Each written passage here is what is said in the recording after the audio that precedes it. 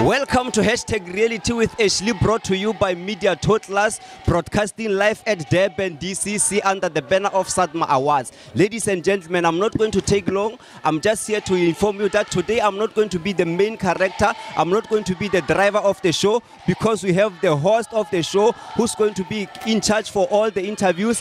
The, the man who's going to facilitate the entire show is Mr. Zulu.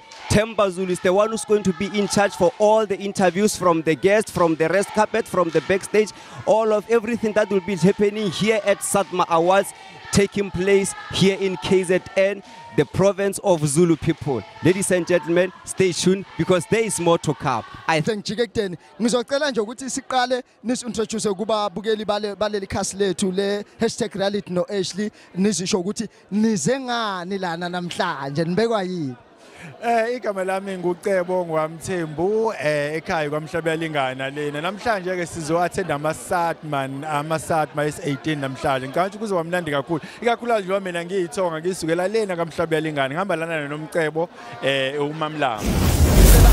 Umnandi awuve umnandi. Futhi i think we should broaden um, our horizons sholo wena uzi introduce la ku #reality eh with Ashley obatshela igama lakho obatshele lokho owaziyo ukuthi bafisa ukukwazi.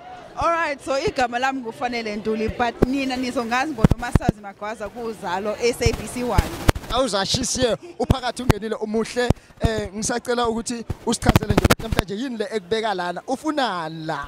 Ngiyabonga so we celebrating 18 years of Abasatma Awards and I've got the opportunity to present an award for the best jazz. So sizobona nje ukuthi traditional music yona isiphathele sanibonani Ashley. Eh igama lami nguNkululeko Dlamini. Siba likhulu emnambithi.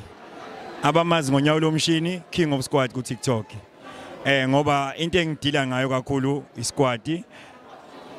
Konke kodwa ngiyakwenza kodwa kakhulu bangazi ngesquad.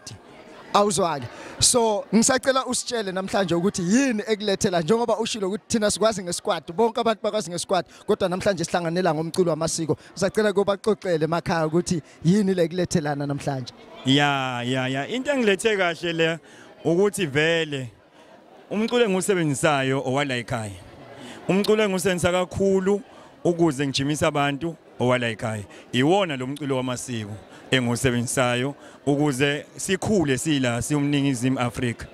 Thina into esiyenza kakhulu ukusebenzisa lo mculo ukuthi abantu bangaphandle nabo babone ukuthi sinawo umculo wase South Africa esingawusebenzisa for ukujima.